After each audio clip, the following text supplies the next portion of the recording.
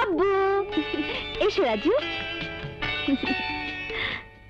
আব্বু তুমি যার সাথে পরিচিত হতে চেয়েছিলে এই সেই রাজু। রাজু আমার আব্বু। ওয়ালাইকুম আসসালাম। মতি মিয়া তুমি যাও। আচ্ছা হুজুর।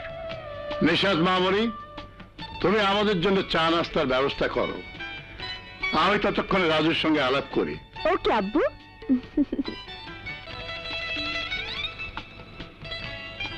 বসো।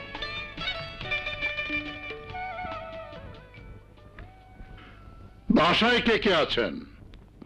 মা আর একমাত্র ছোট বোন। তোমার প্রফেশন এখন কি করছ? লেখাপড়া শেষ করে চাকরির জন্য চেষ্টা করছে কিন্তু এখনও কিছু হয়ে ওঠেনি। তাহলে সংসার চলছে কীভাবে?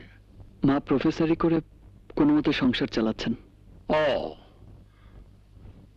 তার মানে গরিব।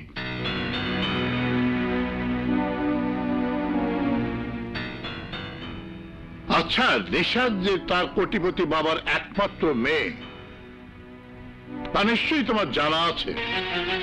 জি। নিশাদকে তুমি ভালোবাসো? জি। বাহ চমৎকার।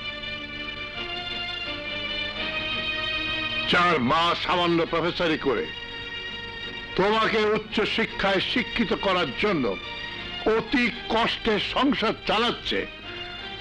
আর সেই ছেলে তুমি কিনা বড় লোকের একমাত্র মেয়ের সঙ্গে প্রেম করে ঘুরে বেড়াচ্ছ।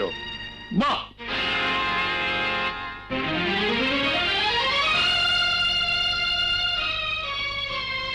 তোমাদের মতো ছেলেরা বেকারত্বের হাত থেকে মুক্তি পাওয়ার জন্য চাকরির সন্ধান না করে বড়লোক হওয়ার লোভে অর্থ সম্পদশালী মেয়েকে প্রেমের ফাঁদে ফেলে বড়লোক হওয়ার স্বপ্ন দেখো। চৌধুরী সাহেব আপনি ভুল বলছেন। আমি অর্থ প্রতিপত্তির লোভে আপনার মেয়েকে ভালোবাসিনি। আমি তোমাকে বড়লোক হওয়ার পথ করে দিচ্ছি। আই মিন আমি তোমাকে ব্যবসার জন্য টাকা প্রচুর টাকা দেব। কিন্তু শর্ত একটাই তুমি নিশাতের জীবন থেকে সরে দাঁড়াবে। মাফ করবেন চৌধুরী সাহেব। আপনি হয়তো টাকা দিয়ে গোটা দেশটাকেই কিনতে পারবেন। কিন্তু এই রাজুর ভালোবাসাকে আপনার সমস্ত সম্পত্তির বিনিময়েও কিনতে পারবেন না। চৌধুরী সাহেব, আমি আমার শিক্ষা থেকে এইটুকু জেনেছিলাম। যারা বংশীয়ভাবে সম্পদশালী, তাদের মন নাকি হয় সমুদ্রের মতো বিশাল। আজ আপনার আচরণ আমার সেই ধারণাকে ভুলে পরিণত করেছে। যাবার আগে আমি আপনাকে নিশ্চয়তা দিয়ে যাচ্ছি। আমি আপনার মেয়ের জীবন থেকে দূরে সরে দাঁড়াবো।